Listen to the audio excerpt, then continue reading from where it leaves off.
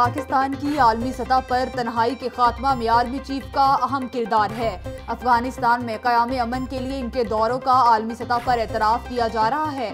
امریکہ، ایران سے خراب تعلقات کو بہتر بنانے میں ان کی خاموشی ڈپلومیسی کا مؤثر عمل دخل ہے۔ کرتارپور راہداری سے بھارتی قیادت سفارتی محاذ پر بیک فوٹ پر نظر آ رہی ہے۔ چودھری پرویز الہی وفاقی وزیر فواد چودھری اور مشیر وزیر اعظم نعیم الحق کی اجاز چودھری کی رہائش کا آمد، والد کے انتقال پر تعزیت کی۔ نعیم الحق کا کہنا ہے کہ قانون سازی کے لیے اپوزیشن کے ساتھ مل کر اڑتیس کمپنیاں تشکیل دے دی ہر قسم کے کیس کا فیصلہ ایک سال میں کیا جائے گا۔ مشیر وزیر اعظم دس ہزار ڈیویلپرز پچاس لاکھ گھر بنائیں گے۔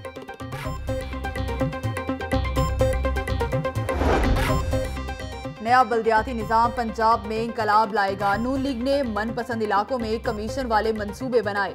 ادھورے منصوبے سابق حکمرانوں کی ناکامی کا منہ بولتا ثبوت ہیں۔ سینئر وزیر عبدالعلیم خان، میاں میر اور کینٹ کا دورہ، ترقیاتی منصوبوں کا جائزہ لیا۔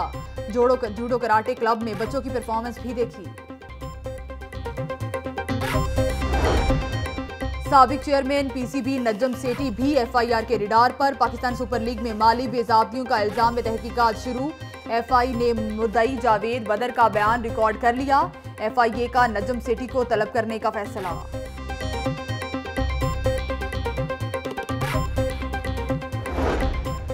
دوسروں کو نصیحت، خود میاں فصیحت۔ شہریوں کی نمبر پلیٹ ٹھیک کروانے والے خود بے خبر۔ سی سی پی او اور ڈی آئی جی آپریشنز کی گاڑیوں پر غیر نمونہ نمبر پلیٹس۔ سیف سٹی کیمروں اور ٹریفک وارڈنز کی نظروں سے اوجھل۔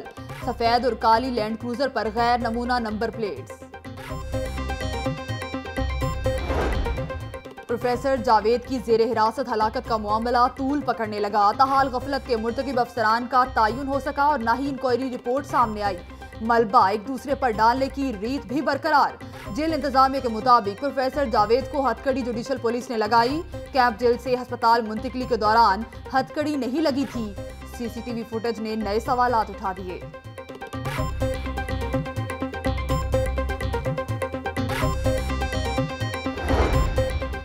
پروفیسر میاں جاوید نون لیگ کے M N A Chaudhry Arif کے قزن تھے۔ میاں جاوید نے ایم پی اے کی نشست پر الیکشن بھی لڑا، لیکن ہار گئے۔ سابق رکن اسمبلی زعیم قادری کے بھی قریبی دو سمجھے جاتے تھے۔ میاں جاوید پر غیر طور پر یونیورسٹی کیمپس قائم کرنے اور اضافی فیسیں لینے کا الزام تھا۔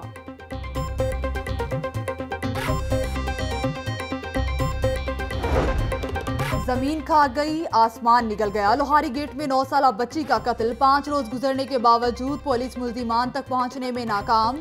چھ افراد کے ڈی این اے ٹیسٹ کر لیے گئے۔ عمرہ کی دائیگی پر گئی بچی کی والدہ واپس پہنچ گئی۔ پولیس کا بچی کی والدہ کو بھی شامل تفتیش کرنے کا فیصلہ۔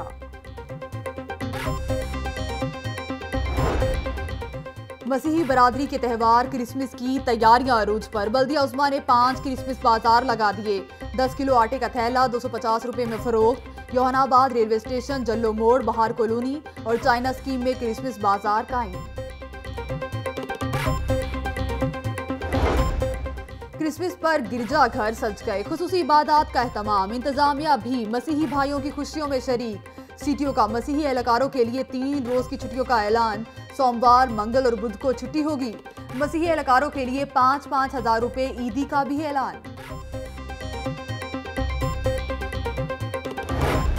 شہریوں کی چھٹی کے روز گورنر ہاؤس کی سیر فیملیز کی بڑی تعداد میں آمد۔ گورنر ہاؤس کی رون کے عروج پر گورنر چودھری سرور شہریوں میں گھل مل گئے۔ لوگوں نے سیلفیاں بنوائی، گپ شپ کی۔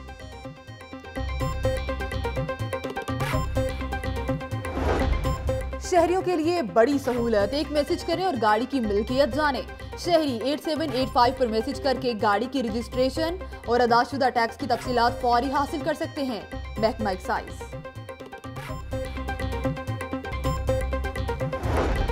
خاتون بجلی چور نکلی۔ رائیونڈ کی جنا کالونی میں سر عام کنڈی لگا کر بجلی چوری کی واردات۔ لاہور نیوز نے بجلی چوری کی فوٹیج حاصل کر لی۔ خاتون کو کمال مہارت سے کنڈے لگا کر بجلی چوری کرتے دیکھا جا سکتا ہے۔